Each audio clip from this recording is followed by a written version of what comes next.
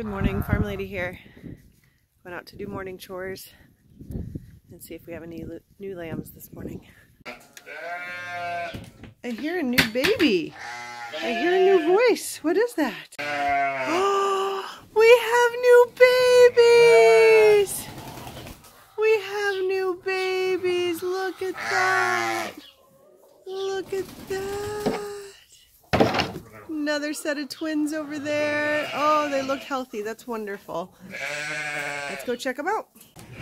So this is Muppet. This is Bea's sister. And she has had two little gorgeous, gorgeous babies. Oh, look at the coloring. So this happened overnight on their own. It's probably just been within the last, I mean, they're both still pretty wet, but they're up and walking and even drinking. So we're looking at, oh, it's probably just been in the last hour. Oh my gosh. So the one nursing is a little ram lamb. And this little black-bellied one is also a ram lamb.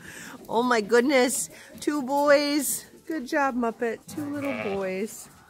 So Muppet is in the corner pen now with her brand new babies that were born this morning.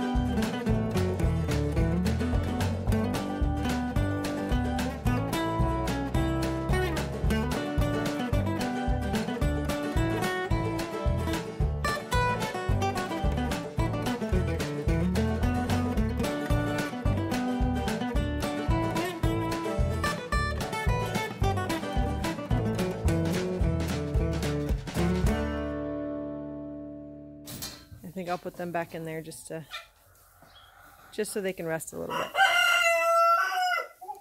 We're gonna go right back out and check out the babies again, the little baby lambs, but I wanted to show you that the, uh, the chickens are out free ranging.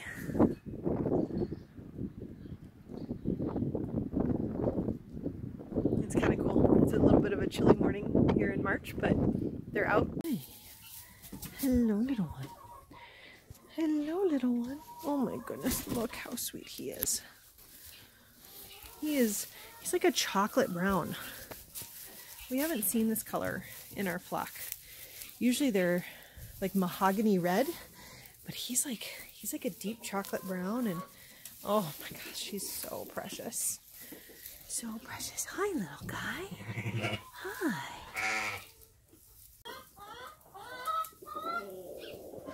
He's chasing the chicken. He's chasing the chicken.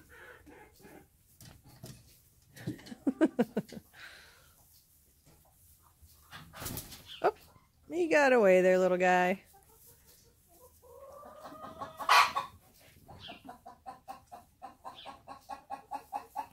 The little, little ewe lamb.